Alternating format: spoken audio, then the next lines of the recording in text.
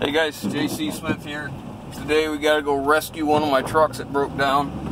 Um, I got filters here. Let me tell you a little bit about what happened. Okay, so about two weeks ago, one of my trucks, I, I bought a bunch of van trailers and I needed trucks to shuttle them back and forth. So I bought a couple of these single axle Sterlings, real inexpensive truck, you know, and moving the stuff back and forth. Well, the fuel gauge showed it was it had like quarter of a tank of fuel or half a tank or something like that. Well, it shut off right in the uh, right in the driveway. As we got home, went to go move the truck again, and it shut off. It was out of fuel. So I went and got fuel, filled up the tanks, and I forgot to get filters. And I knew it was a big mistake, but I needed to move it because I had more trailers coming. So I went ahead and got it started, and uh, you know, filled them up, whatever. Um, got fuel in the filters, and uh, filled them up, got it started, and forgot about it. Um, you know, I've been using the truck a little bit here and there. Brandon goes to go get a trailer today, and it shuts off. So, right as soon as he told me he was losing power and it stalled out, and he was having trouble making any RPMs, I remembered that I forgot to change them filters. So, I ran down to Napa, grabbed these filters, and we're going to head out and see if we can get it going again. So, we'll bring you along.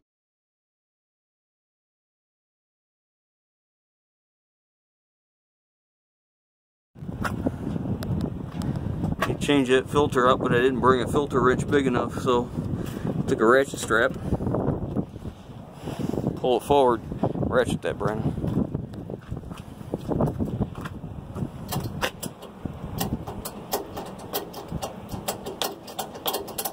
Okay, let loose.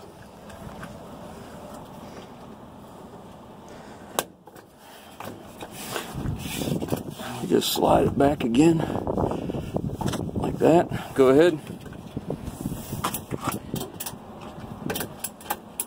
That thing was on there tight. I couldn't budge it at all. Alright, that's good enough. We should to get it by hand now.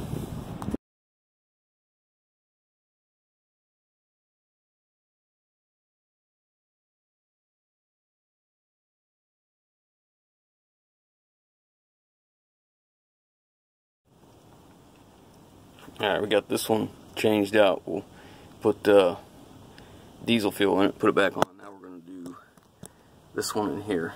There's another filter right there. We're going to change that one.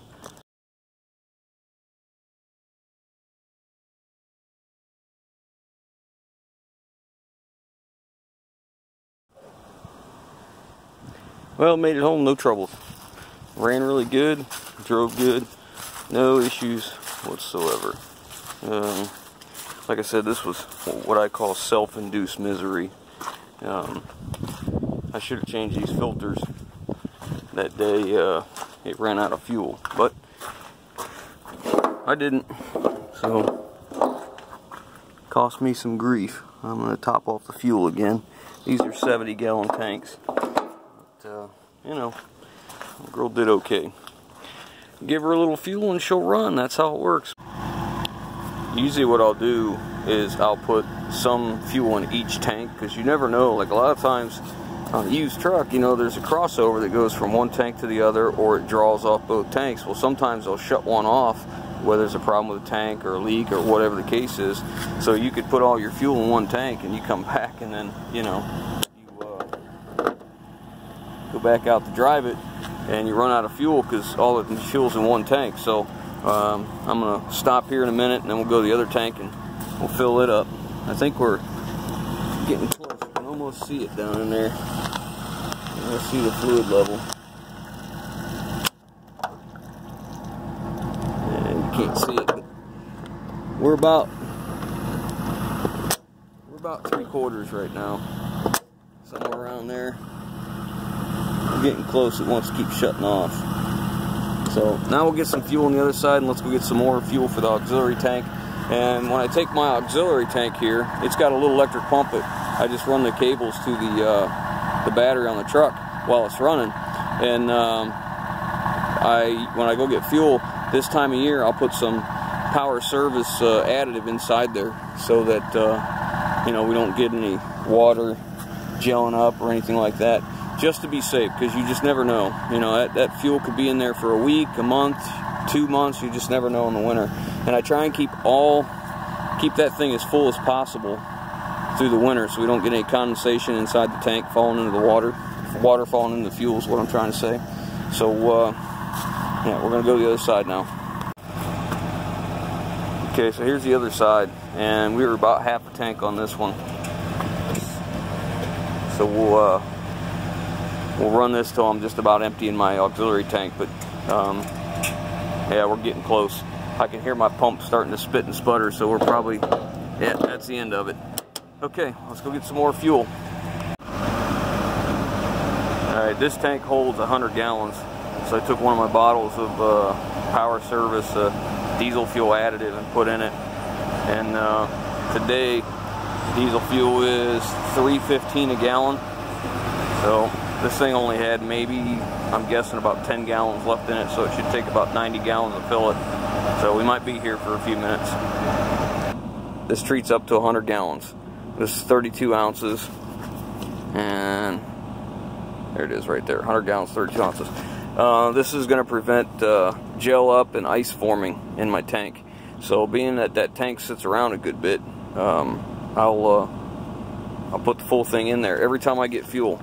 That way, no matter how long it's in there, it should be good. Like how long is usually only just a few weeks or so because I'm filling trucks up. Because it's a whole lot easier to fill a truck up from this tank than it is to bring them trucks in town and drive the distance it is to get good fuel. Because I don't buy fuel just at a gas station. I buy it at a truck stop. Truck stop that sells a lot of diesel. Now they may still have like a car diesel like this place, but they sell a lot of diesel fuel. So we, we have less chance of getting water and diesel.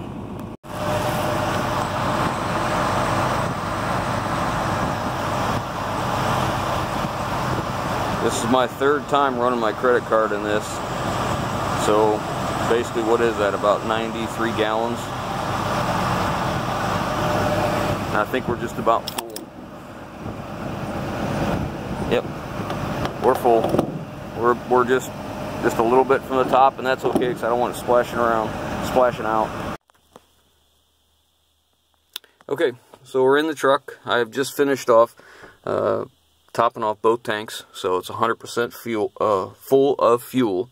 Now what I want to do is start the truck up. I want to let it idle for a while and uh, circulate that uh, diesel uh, fuel treatment so it can get into the first filter, the second filter, the lines, the injectors, the return line, so we can have a good protection all the way through because as you can see, uh, the temperature and the weather's changed and it is nothing but uh, pretty cold out right now. So uh, I think it's about, I think I saw it was like 20, 21 this morning with a wind chill, I think was, because it's really windy, I think the wind chill was like 13 degrees right now. So anyways, let's start this thing up. And, uh, oops.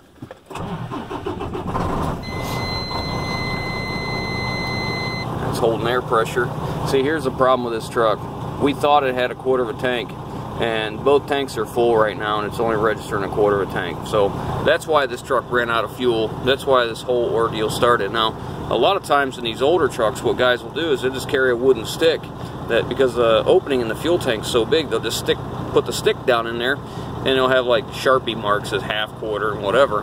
But because uh, it's very common in these old trucks, you know, these things rattle pretty pretty good, and this one's got 354,000 miles on it, which really is nothing for a semi, but you know it's still a lot of miles. But uh, anyway, so that this is the whole problem. It, it only goes up to a quarter of a tank, so we'd never know it was it was empty, and that's how all this ordeal started.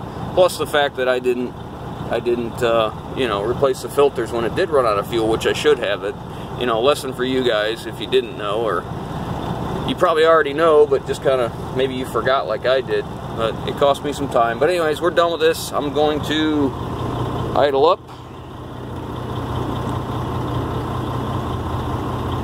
Come on now. Oops, wrong button. I'm looking through the camera. There we go.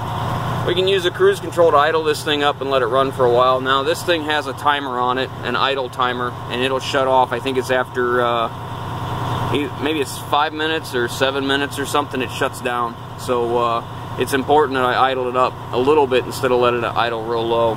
Uh, and then when it shuts off, that'll be okay. It's good enough. And I'm going to go do the same thing with a couple other trucks. So I'm going to get going. Thanks for watching, guys. We'll catch you on the next one. If you like what we're doing, give us a thumbs up. If you haven't already, hit the subscribe button. Leave your comments down below. And we'll catch you on the next one.